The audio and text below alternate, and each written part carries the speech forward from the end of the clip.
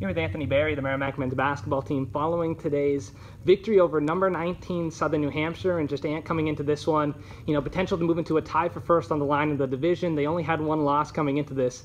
How big of a win was this against the Penmen today? I mean, it was a big time win, as you previously mentioned. They're um, nationally ranked and also they're top of the division. And I think with that win, if I'm not mistaken, that would tie us. So I mean, that's a big time confidence booster, especially you know going away for a long break. So we're definitely happy offensively, all five starters scoring scoring double figures, ranging from 12 to 25 points. Just you know, how how was what was the keys to being so effective on the offensive end of the floor? I mean, honestly, everyone's buying in. Everyone's making that extra pass. I mean, we've been working extremely hard this past week, just getting shots up. In the past couple of games, we haven't shot the ball previously. I mean, um, consecutively well. So today we kind of shot out that slump, and it was great to kind of see everybody clicking on all cylinders. In your five years, this is the best start you guys have had in conference play in quite some time. And in your five years, just how do you build on this moving forward, being five and two in the division, now going into playing some of the teams from the other side? Uh, yeah, I mean, it's, it's a great start, but I mean, as you know, this, this league's a game of runs, and we can't become complacent, you know. So that's one thing I'm really going to harp on when we come back from break, just to make sure we,